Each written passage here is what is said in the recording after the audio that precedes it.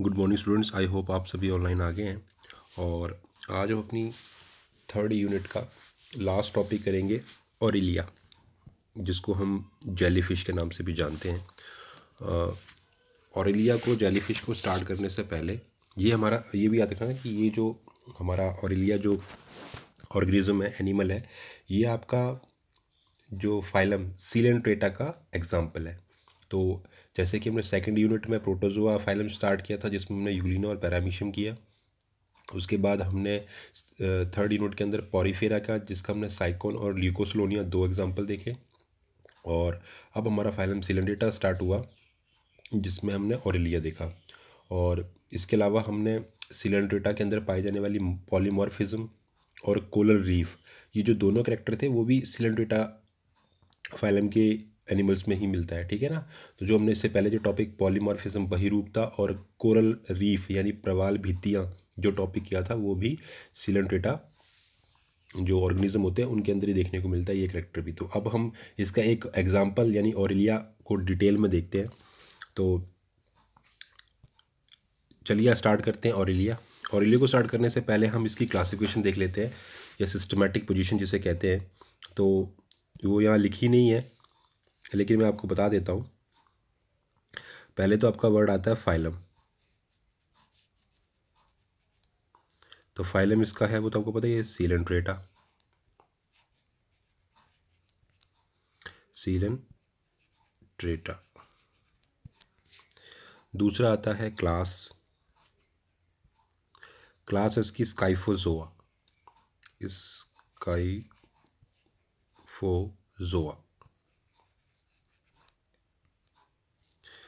फिर आता है ऑर्डर ऑर्डर होता है इसका सेमियोस्टोमियई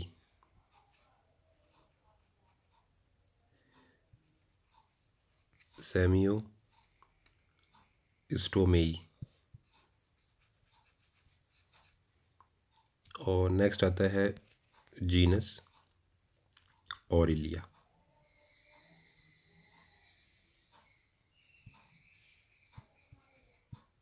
और लास्ट इसकी स्पीशीज़ है, जाति है ओरिएटा ठीक है? तो ये इसकी क्लासिफिकेशन है सिंपल सी। फाइलम है इसका सिलेंड्रेटा क्लास है स्काइफोजोआ ऑर्डर है सेमियोस्टोमियई जीनस है ओरिलिया और स्पीशीज़ है ओरिएटा ठीक? तो ये आपने इसकी क्लासिफिकेशन है इसको लिख लेना है। आपकी बुक में भी दी होगी सिंपल नहीं हो तो यहाँ से निकाल लो, कोई दिक्कत नहीं है। स्क्रीनशॉट ले सकते हो आप। तो नेक्स्ट हम बात करते हैं ऑरेलिया की डिटेल डिस्क्रिप्शन के बारे में। कहता है कॉस्मोपोलिटियन पहले तो ये इसकी हैबिट्स और हैबिटेट की बात हो रही है कि इसका स्वभाव और आवाज़ कैसा है। हैबिट और हैबिटेट इकट्ठा ही है। कहते हैं कॉस्मोपोलिटियन है ये मतलब वर्ल्ड वाइड सब जगह, सर्वव्यापी। कॉस्मोपोलिटियन को हिंदी में कहते हैं सर्वव्यापी, हर जगह मिलने वाला। नोन हैज़ ए मोनोजेली और जेलीफिश हम इसको मोनोजेली या जेलीफिश के नाम से बुलाते हैं।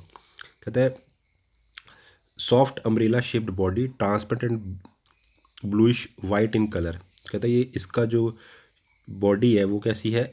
सॉफ्ट एक तो बहुत मुलायम है और अम्ब्रेला छाते की तरह होती है। इसका जो डिज़ाइन है बॉडी का, वो छाते की तरह होता है। देखेंगे आगे डायग्राम में। और बॉडी कैसी है? ट्रांसपेरेंट यानी कि इसके आर पार आप देख सकते हो और कलर इसका ब्लूइश हो सकता है। और ब्लूइश वाइट यानी कि आस, हल्का आसमानी, है ना? वो हो सकता है।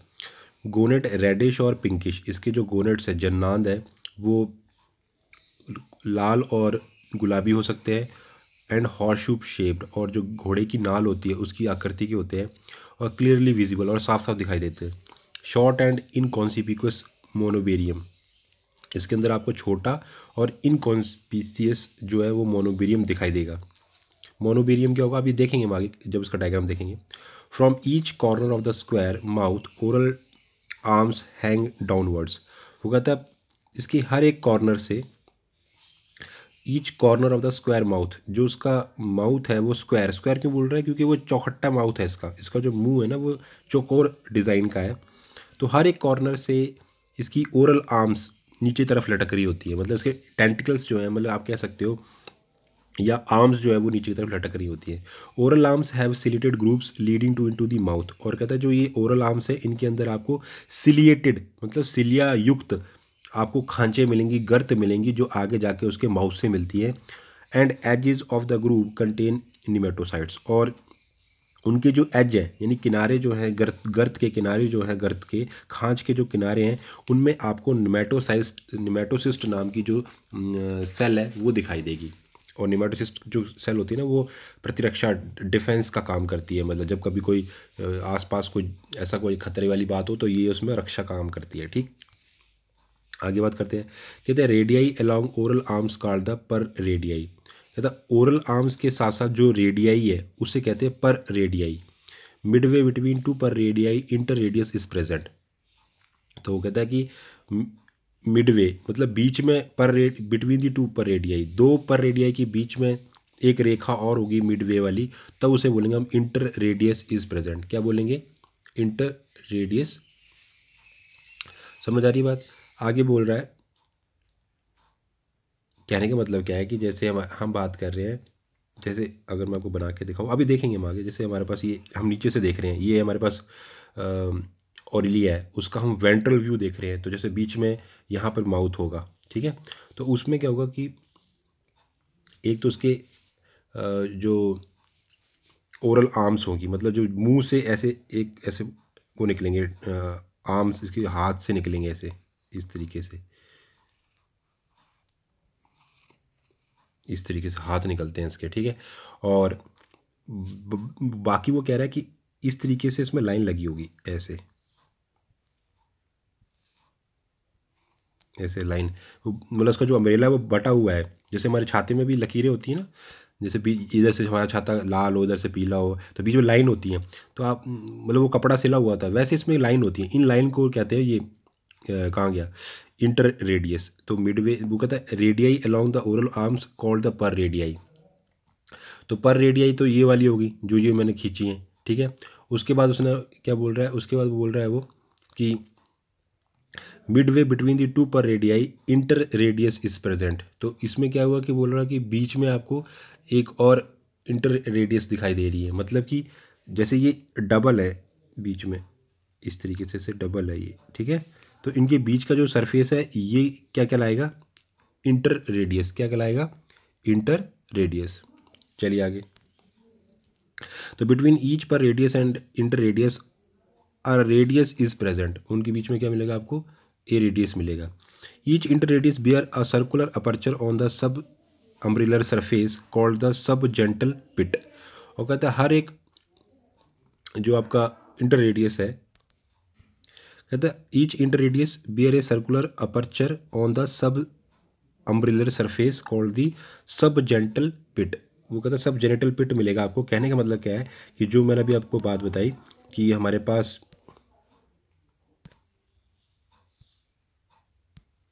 जैसे इस तरीके का शेप था, बीच में माउथ है और माउथ के बाद हमारे पास इस तरीके से आर्म्स निकली हुई थी। है ना? इस तरीके से आर्म निकली हुई थी। तो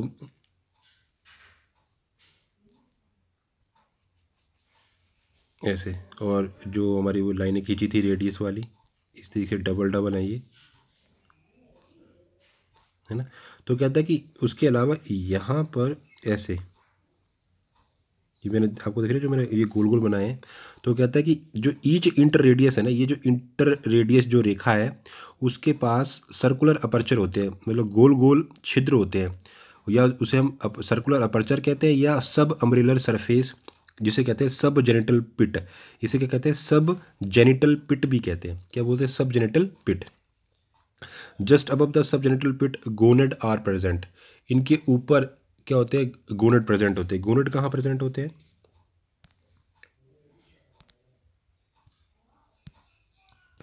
यहाँ होते हैं गोनेड यह गो नोट आप डायग्राम में देखना अभी हम डायग्राम देखें तब आगे भी बताए बात करेंगे इधर। तो कहता है कि just above the sub genital pit थोड़ा सा इस जेनेटल के ऊपर आपको क्या मिलेंगे? गोनेड मिलेंगे। या लिखा gonad are present circular margin of the umbrella broken into the eight lobes वो कहता है कि जो सर्कुलर uh, मार्जिनस है जो इनकी circular margin of the umbrella umbrella जो आपका ये छाते के नुमा डिज़ाइन है, ये umbrella broken into eight lobe इसमें ये आठ पालियाँ हैं, ये जो जो मैंने इनको खंड किया ना, इनको जो बांटा है, वो एट लोब है right eight lobe and eight notches इसमें एट आपके पास लोब्स मिलेंगी और एट इसमें क्या मिलेंगी? नोचेस मिलेंगी. बस, समझ आ गई बात? Each notch has two leaflet like process process called the marginal leaflets. अब वो क्या कह रहा है कि each nose notch has two leaf two leaf like process is called the marginal lappets क्या बोलते हैं उसको हम? मार्जिनल लैपिड्स तो मतलब कि जैसे वो कह रहा है कि जैसे ऐसे वो अम्ब्रेला से बना है ना, इस तरीके से। तो ये नोचिस है। खान चाहिए। ठीक है?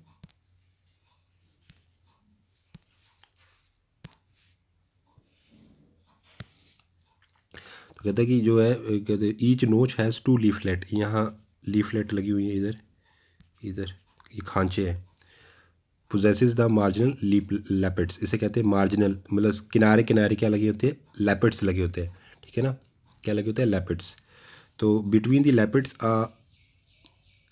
accessory organ called the rhopalium या टेंटिकुलोसाइट इज़ प्रेजेंट इनके बीच में आपको रोहोपेलियम या टेंटिकुलोसाइट्स प्रेजेंट्स होती हैं। Numerous thread like tentacles having batteries of the nematocyst marginal lappets and tentacles has a thin flexible flap known as a velarium मतलब अब यहाँ पर ऐसे लटके होंगे इस इस तरीके से।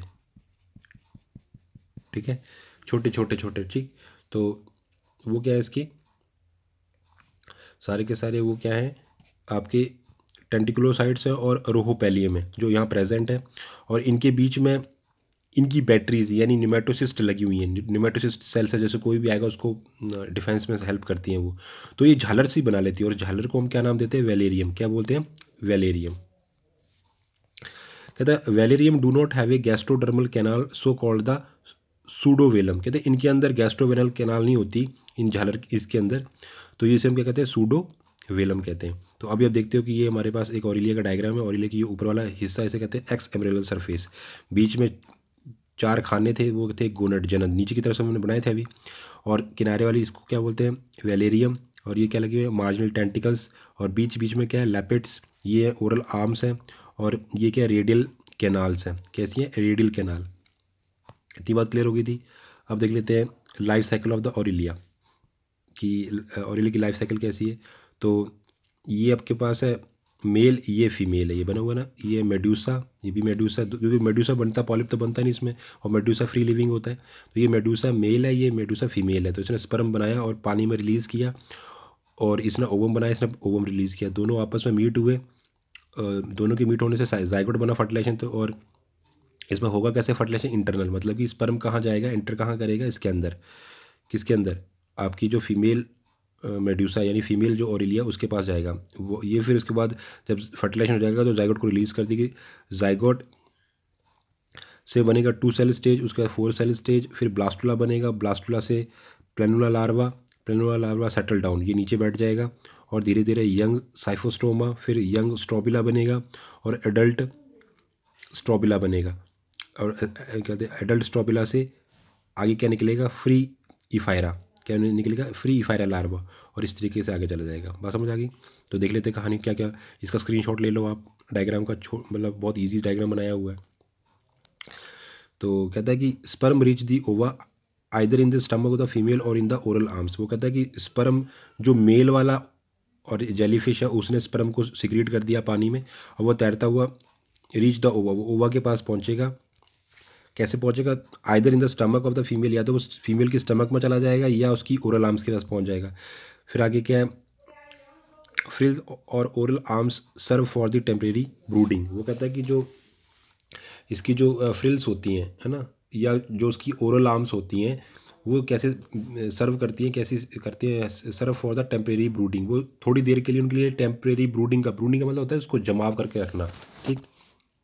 ये जो ओरल आर्म्स थी ना ये जो ओरल आर्म्स है, ये इनकी बात कर रहा है वो, जो ये लगी हुई हैं, ये जो आर्म्स लगी हैं oral arm zygote undergo the hold hold holoblastic division to form a solid morula फिर उसका जब जागुट बन जाएगा तो वो क्या होगा? Holoblastic divisions to form a adult फिर जाइगोट से मोरूला बनेगा। और morula convert to blastula morula वो ब्लास्टुला में कन्वर्ट हो जाएगा with fluid filled cavity called the blastocoel बीच में एक कैविटी होगी जो फ्लूड से भरी हुई होगी, उस गुहा को कैविटी को हम ब्लास्टोसील बोलेंगे। Two layer gastrula develop by the invagination उसके बाद दो लेयर वाला गैस्टुला बनेगा with the help of invagination उसमें इन्वेजिनेशन प्रोसेस होगा इनर एंडोडर्म और आउटर एक्टोडर्म उसमें अंदर की तरफ़ एंडोडर्म होगी, बाहर की तरफ़ एक्टोडर्म होगी। यानी कि कैसा हो गया? दो स्तरीय है ना? एक होता है ट्रिप्लो और डी होगा डिप्लोब्लास्टिक होगा। फिर blastopore of the gastrula not completely close उसके बाद embryo, elongate, outer cell become ciliated and blastopore बंद हो जाएगा। Ciliated free swimming planula larva form.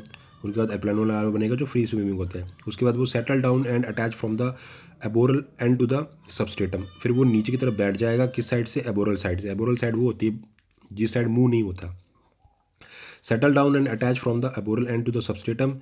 Cilia lost and mouth open at the oral end. वो कहता है, cilia सारे के सारे वो ख़त्म कर देगा अपनी बॉडी से, और उसका जो मुँह है, वो ओरल एंड पे आ जाएगा।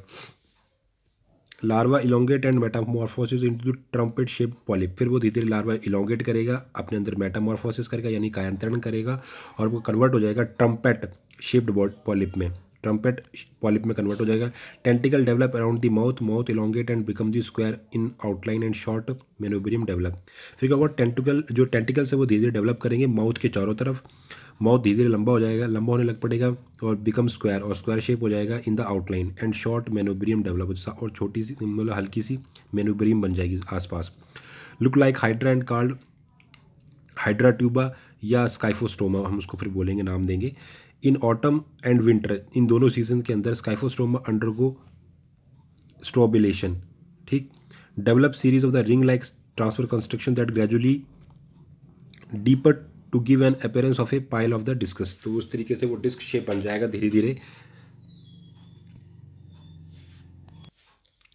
now scyphistoma now called the strobila अब हम स्काइफोस्टोमा को किस नाम से बुलाएँगे? Strobila and each disc called the ephyra larva और हर एक डिस्क को हम क्या नाम देंगे? Ephyra larva ephyrae connected with one another by the muscular strand और वो एक दूसरे के साथ मस्कुलर एक पेशीय तंतु के साथ एक दूसरे से अटैच रहेंगे।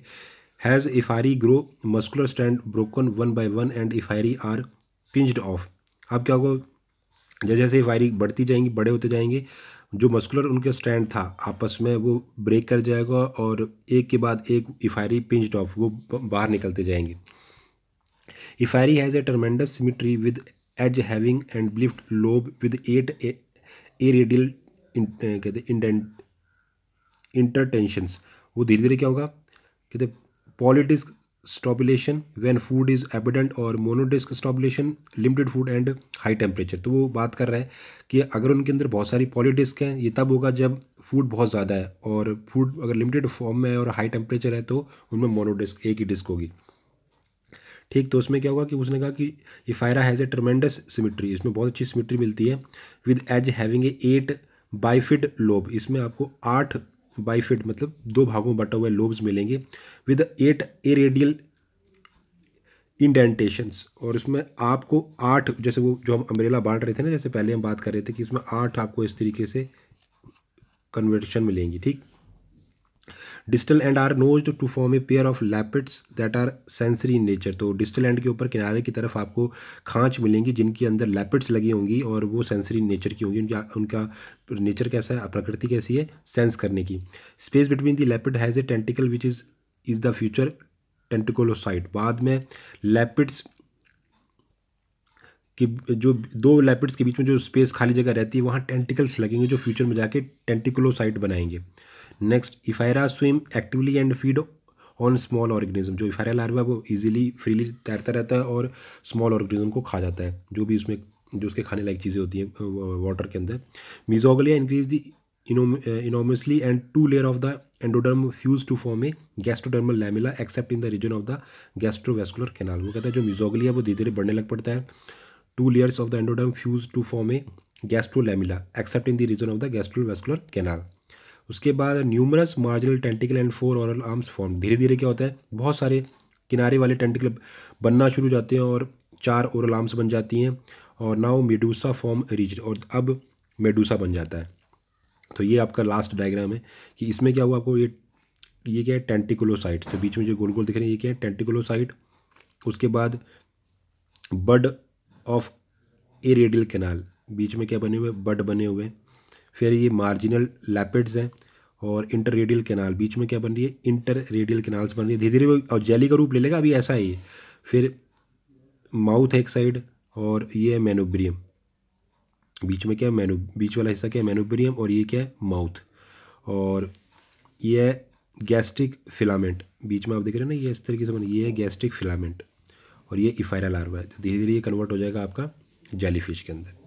तो थैंक यू सो मच तो बहुत ईजी सा है। और इस चैप्टर से बहुत कम आता है, ज़्यादा नहीं आता है और एलिया से, ठीक है? तो उसका डायग्राम आप याद रखें या उसके लाइफ साइकिल वाला डायग्राम याद रखें। और ज़्यादा इस पर स्ट्रेस नहीं करना इस चैप्टर पर कम आया गया है। मैंने, मुझे दस साल हो गए इस टीचिंग लाइन में तो दस साल से मैंने इसके बहुत कम क्वेश्चन देखे तो उसको आप इतने ध्यान से मतलब आपने उसके डायग्राम ज़्यादा इंपॉर्टेंस देनी है, ठीक? Thank you so much